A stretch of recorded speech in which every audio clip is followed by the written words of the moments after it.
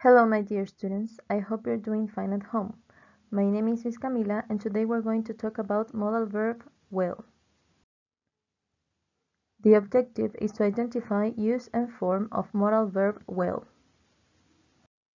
So first of all, what is modal verb will? Will is a modal verb used with promises or voluntary actions that take place in the future. Will can also be used to make predictions about the future.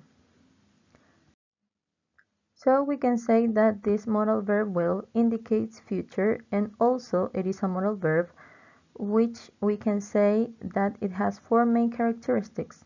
First, it is used for all pronouns the same. The verb that indicates the action goes in the infinitive form. It indicates a mode, in this case future, and finally it works as its own auxiliary. Now we're going to see all types of sentences using this modal verb will. First, we're going to start with the positive sentence.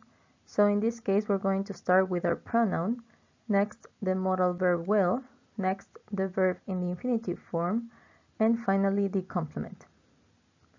In the case of the negative sentence, we're going to start with our pronoun, next will, next the word not because it is a negative sentence, next the verb in the infinitive form, and finally the complement.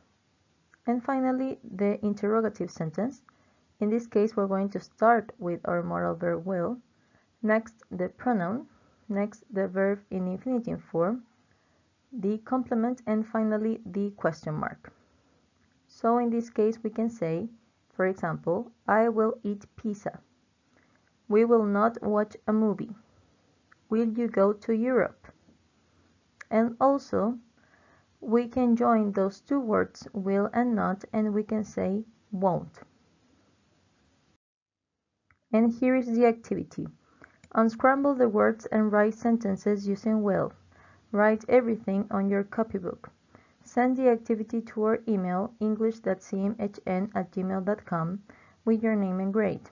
If you have any questions about the activity or the contents, remember you can ask questions during the online sessions or you can send us an email and we will answer you as soon as possible.